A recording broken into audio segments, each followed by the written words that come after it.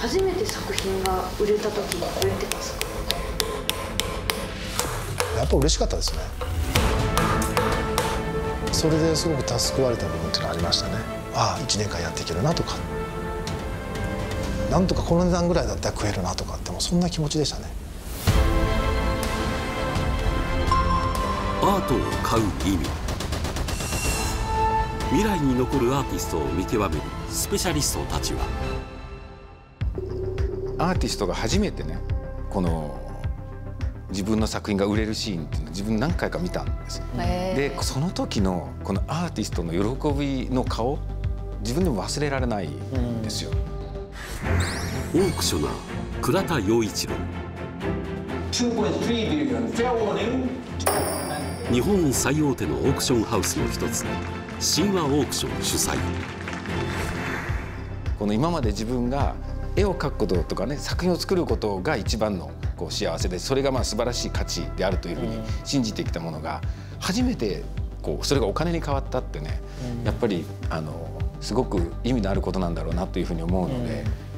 やっぱりあのアーティストっていうのは発表をして世に自分のこう存在価値を問うわけですから。月刊美術編集長若林正臣アートコレクター向け雑誌月刊美術で幅広いジャンルの美術家たちを25年にわたり紹介。日本美術の歴史にも精通した知識豊富な美術ジャーナリスト。何らかの手応えがないと続けていけないですよねそれはもしかしたらあの評論家が褒めてくれることかもしれませんし新聞記者が来てあの何か書いてくれることかもしれませんしでも一番はやっぱりコレクターが作品を買ってくれるっていうことが作家にとって一番の評価だと思うんですよ。自分が信じて作ってきたものが売れる価値がつくそれはアーティストにとって励みであり制作を続ける上での精神的な支えになるコレクターってもしかしたら一番の批評家なのかもしれないですよね。っていうのはまあお金を出す批評家っていう言い方をした方がいいかもしれないんですけれども。アートアドバイザー塩原正史その活動はニューヨークロンドンパリスイス世界中を飛び回る名だたるコレクターたちが次に何を買うべきか塩原にアドバイスを求めるという。誰よりも世界中の現代アートを見てきたアート界の千里が。実は見る側買う側の目が超えてこなければ作る側もやっぱりそこそこになってしまうっていうふうに私は思ってまして、うん、あの野球なんかでもやっぱヤジが飛んだりとか、うん、それからあれもファンですよね、うん、でそれも入場券を払ってきてるから、まあ、コレクターとまでは言わなくても、その関係者、まあ、買う側の目が実はアーティストにとってすごく重要なお金だけじゃなくて大切なんじゃないかなっていうふうに思います。買う側の目がアーティストを育てるまあ、アーティストコレクターミュージアムのキュレーター、まあ、ギャラリスト批評家とかさまざまなジャンルの人たちがですね一つの塊になってアートシーンを盛り上げていったりアーティストを支えていくわけですけどもコレクターっていうのは一番重要な存在の一つかなと。日本の現代アートギャラリストの第一人者水間アートギャラリーエグゼクティブディレクター水間末夫少なくとも日本で事業成功されている方はですね日本の作家を支えてほしいなと。うん、というのは日本で生まれてる現代アートの作品っていうのは将来日本の文化遺産になるようなものだから、うん、そういう文化を支えていくために、はい、日本人が支えなくて誰が支えんのっていうのは僕あるわけですよ。うん、例えば歌舞伎や浮世絵能のように日本の現代アートは日本人が買い支えるべき文化。作品が売れなければアーティストは廃業する。作品を買うことはアーティストを支え文化を守ること。誰もが名を知るゴッホやルノワールにも画材が買えない時代彼らの絵を買い支えたパトロンがいた。だからこそ100年を超えてもその絵は残り文化となった。またこう近くで見るとですねその表情が変わるんですよね。この番組は新しいアート作品を探すコレクターが実際にアーティストのもとを訪れ何もなかったところにこう宇宙が生まれてくるみたいな。話を聞きそしてその作品を未来に残すため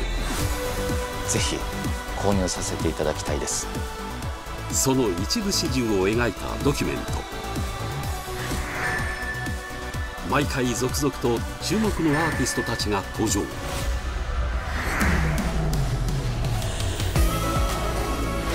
ジ・アートハウス」そのアートは100年後に残せるか。作品を買うことでアーティストを支えるパトロン。つまりコレクターたち。ここにも一人新しいアート作品を探すコレクターが。えー松井正成と言います、えっと仕事は作家やっていまして。作家松井正成。幅広い執筆活動を行う松井。仕事の傍らおよそ27年アート作品を集め続けているあのアート作品買って楽しむようになると自分の中で変化が起きるんですよね。どういう気持ちでこの作家が作ったのかとか考えますからそうするとあこれは自分もこういうふうに考え方をひねっていくといい作品書けるかもしれないとか確実に自分のその仕事上の想像力とかそういうのを刺激しているのはあります。コレクター松井が今注目しているアーティストが。棚田浩二さんです彼の作風はあの日本古来からあるその一本の木から像を切り出すあ掘り出す一木作りっていう手法なんですけどもそれによって出てきたその姿彫刻のそれが何ともその柔らかくて優しくて棚田浩二一本の木から人間を掘り出す。顔がなんていうのかなちょっと憂いを帯びてるんですよね。まあ、涙目っていう言い方をね彼のファンからはされてるんですけど本当に憂いがあって今にも涙がこぼれ落ちてきそうな目をしてるんですよね。憂いのある顔の木彫涙目未来に残るアーティストを見極めるスペシャリストたちも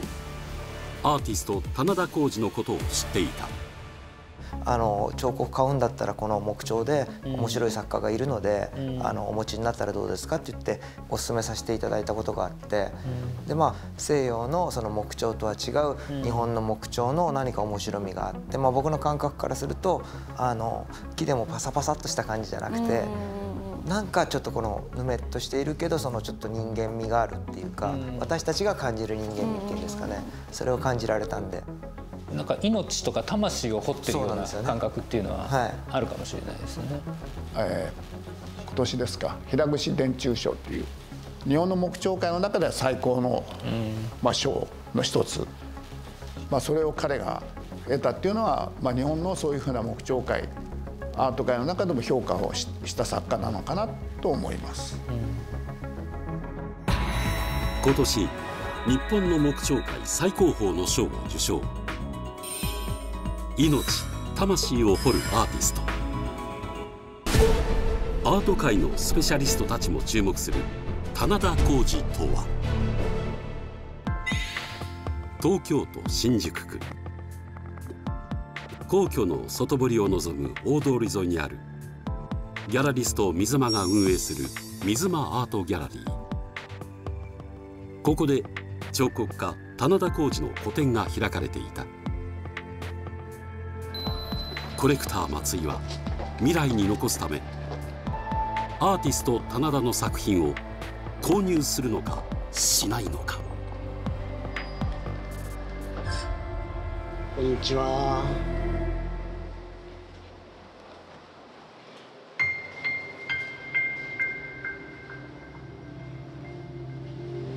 これすごいな。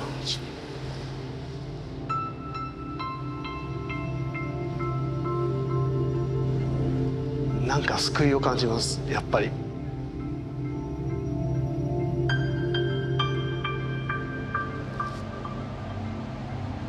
ああこれはすごいな。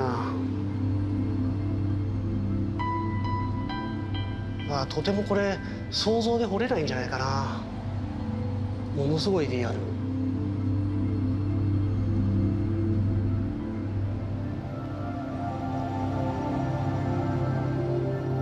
てるだけなのにいろんなこと考えさせられます。うん。なんていうかな。彼女はこれはすごく平和な感じがします。彼女の方はちょっと僕は戦いとか意志っていうものを感じるんですね。でも彼女の場合はすごく穏やかで、うん、救いとかその平安を感じますね。全て一本の木から掘り出された木彫。この模様も木目と体の造作が完璧って言っていいくらいすごく馴染んでんですよね。彫った後に木目を描いたくらいちょっと圧倒されました木の色合いや木目の流れを生かしどれも個性的で同じ顔は2つとない。そして棚田が作品に施す強烈なメッセージ。こう目がね目が訴えかけてくるんですよね。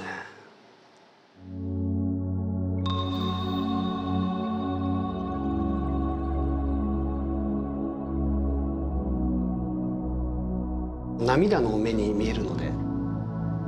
寂しさみたいなものを感じるんですよね。でもきっと悲しくはないんだろうと思います、うん、なんか愛情を受けてるこの顔をしてるように僕には見えますね。こんにちは。ああこんにちは。どうも。いや今回もいいですね。ああありがとうございます一本の木から人間を掘り出すアーティスト。棚田浩二。この色はもともとの木の色そのままですか？オイルが塗ってます。オイル塗ることでより激しい木目は出てきました。あそうですか。でもそれは僕はなんかこの作品にはいいだろうと、うん、もうこれ以上こういったものを殺してまでスキンカラーに塗るっていうのはないなと。もうこれはこの木目を出してくれてよかった、はい、これ隠しちゃったらもったいないですよ。ね。本当に筋肉のような、ね、そうですね。なんでこんなにぴったりで出てるんだろうと思って、うん、まるでソックスのようなねそうなんですよ、ね、模様。本当にこの木の中にこの子がいたのをその救い出したようなただ見えるようにしただけのようなそんな印象を受けますね。だから喜んでるでしょうね。こういうふうに放り出してもらえて。アーティスト棚田がこだわる。一木作り。一本の木から掘り出す人物像。それは挫折から生まれた日本人としての誇りだった。木彫の道を進むきっかけは美術大学での造形の授業。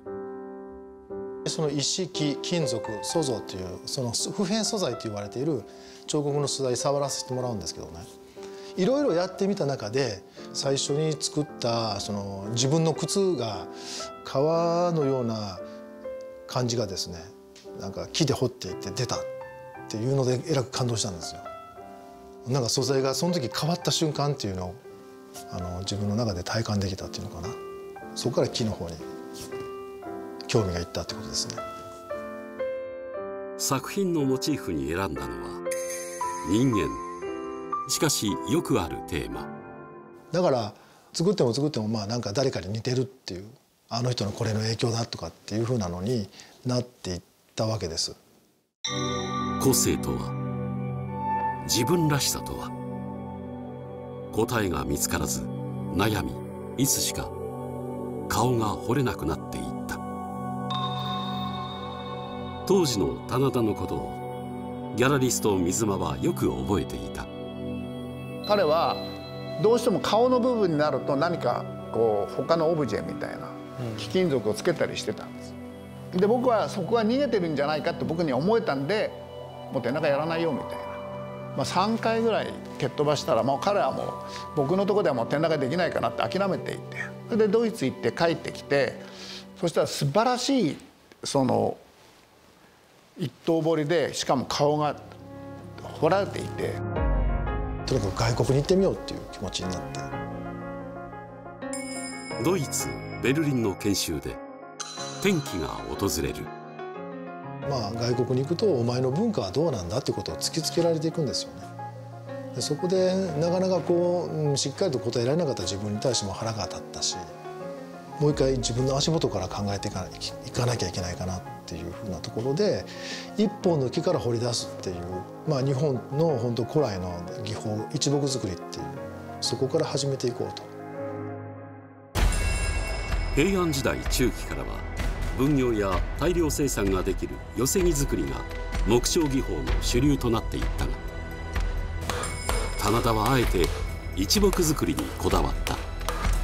生き物として見てる感覚はあるんじゃないかなと自分でも思います。その原木が持ってる個性とかっていうのがまあある作品のところによって例えば生命感みたいなものに変換できたりとかするとやっぱりこの一木だからこそできるなんかものなんですよね。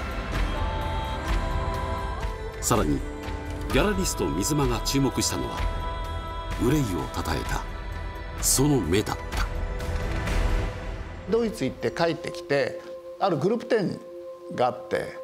そしたら素晴らしいその一刀彫りでしかも顔が彫られていてでびっくりしてその場で電話してですね「おい棚田素晴らしいよ」って「天中やろうよ」って言ったんですけどその時の作品が実は彼の目目に涙目っていう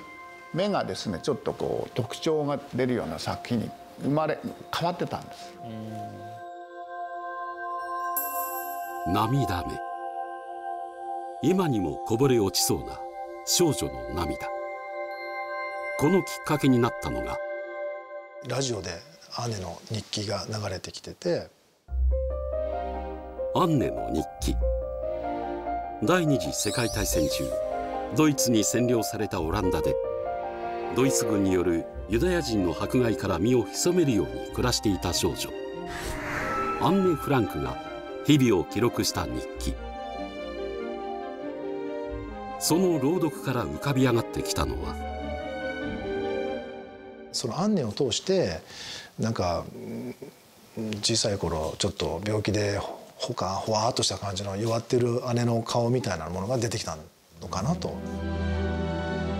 目に涙をたたえながらも病気と戦う幼い頃の姉の姿ガリガリになっちゃって、ね、パンツ一丁で悲しげな顔してるんですけども痛々しくもあったんだけど生きようとする姿でもあったんだなっていうそれを形にしたかったのかもしれないですね。以来棚田は苦しくも困難に立ち向かう実在する少年や少女をモチーフにすることが多い少年少女とかそういう社会的に弱者と言われている人たちをこう彫刻として強く存在させていこうと。だから棚田が描く涙は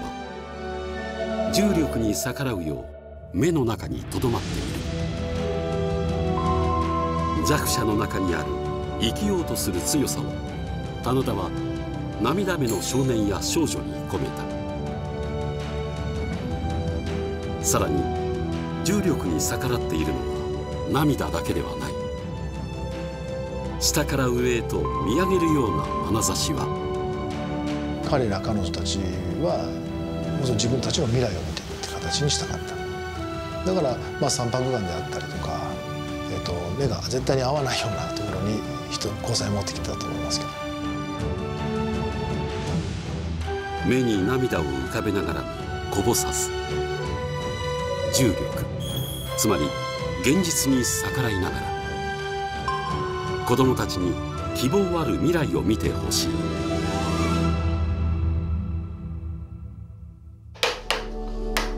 アーティストの思いを知ることでまた作品の見え方が変わる。すでに一体棚田の作品を所有しているコレクター松井。バラの子。いやあれは欲しいなと思いましたね。唯一無二って感じでまあ今日のは大きい大きいのでねあの自宅には入らないんですけど、